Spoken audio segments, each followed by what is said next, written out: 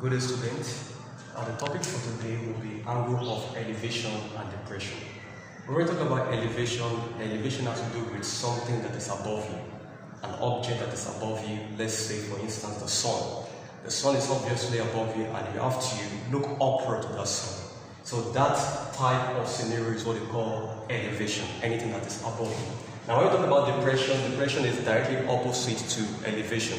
It is something that is below an observer in such a way that you have to view downwards uh, to that object.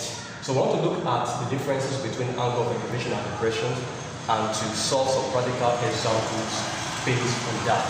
Now, if you look upward at an object, say, let's say the top of a pole, the angle formed between the horizontal, which is uh, the angle that is formed between the horizontal view and your line of sight is called the angle of elevation.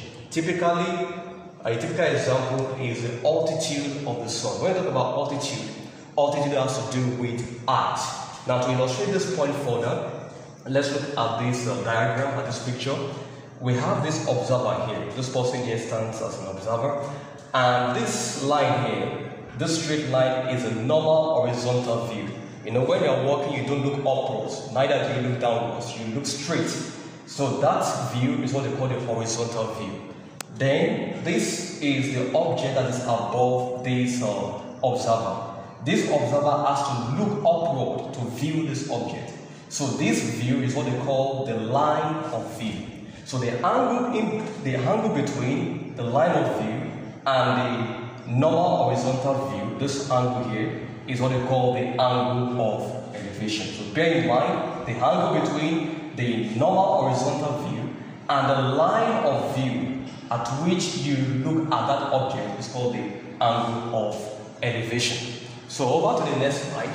If you look downwards, now we're considering the angle of depression.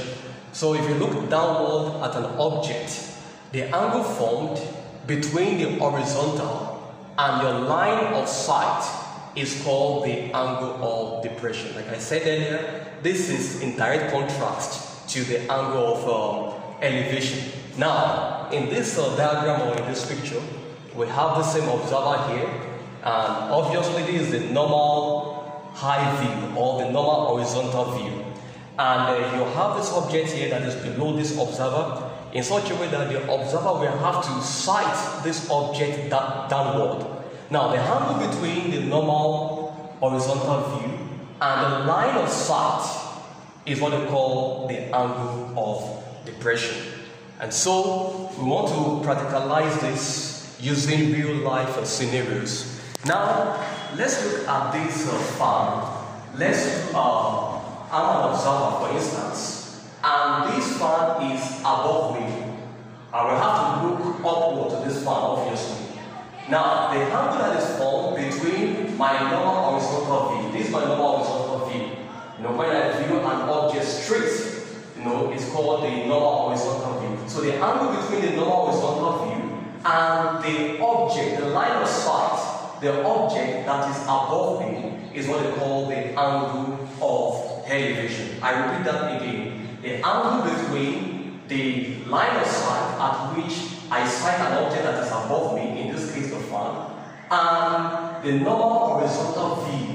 The angle between these two is referred to as the angle of elevation. Now let's now look at the angle of depression. Now I have an object that is below me, the uh, coke, uh, the bottle coke, coke here, and I am an observer, for instance now. Now I have to look at this object that is below me. I have to look at it downward. Now the angle of depression is the angle between, once again, my normal horizontal view and the angle, so, and is what we refer to as the angle of depression. I'll take that again. The angle of depression is the angle in between the normal horizontal view and the line of sight at which I view this object that is below me is what we call the angle of depression. So now let's now look at the following examples.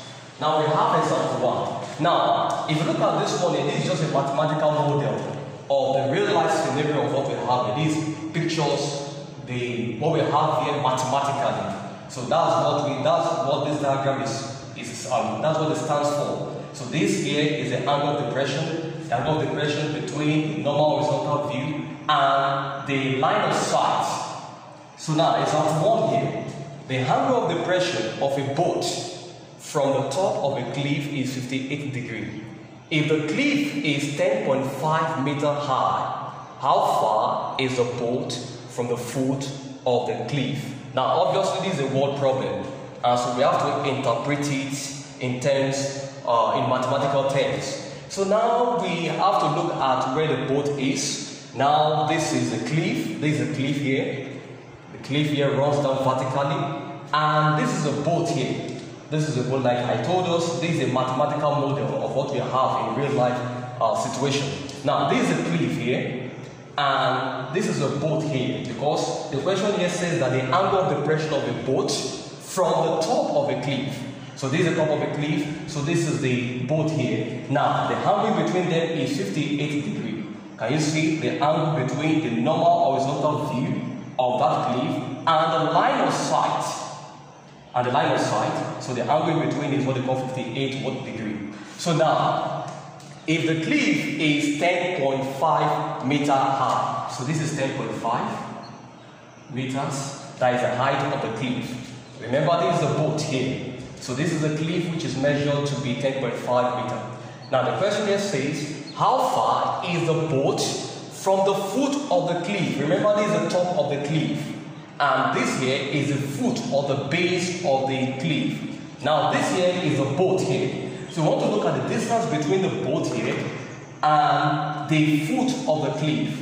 So, the, so in, invariably we'll be looking at we'll be looking for the line AB. And we've denoted line AB to be our X. Our line AB stands for the distance between the boat and the foot of the cliff. Now, before we move on to the next slide, now, let me explain some terms here before we move on to the next slide. Now, obviously, this is a right angle triangle. So this angle means that uh, we have it to be 90 degree. Now, this is 58 degree originally. Now, this is 58 degree. The reason is because the both angles are alternate. They are alternate to one another. So if this is 58 degree, this also will be 58 degree.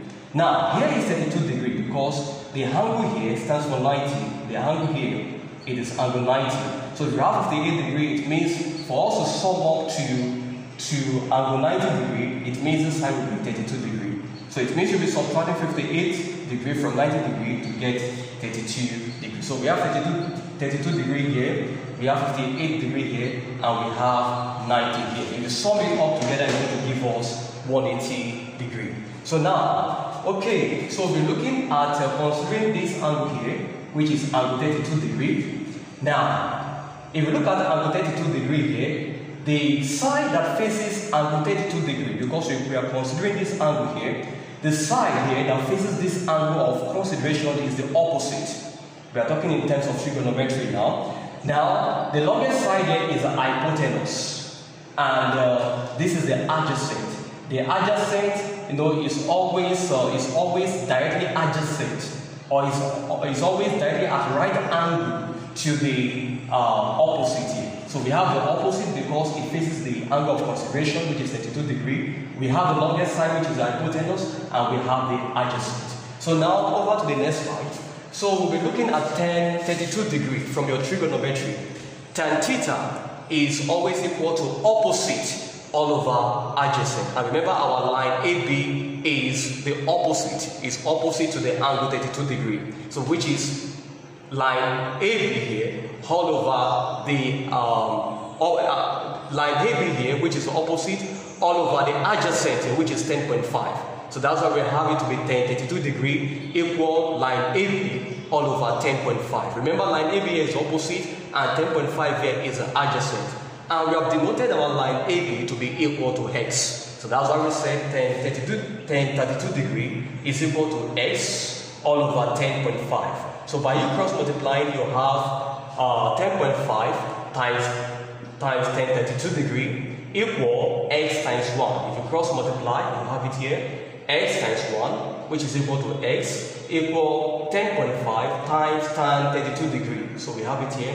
And in your four figure table, or if you use your calculator, if you look at the equivalent of tan 32 degrees, it's going to give us 0.6249. So tan 32 degrees is equal to 0.6249 times 10.5. So if you multiply the two terms together, the two numbers together, you are going to have it to be 6.56145 meters.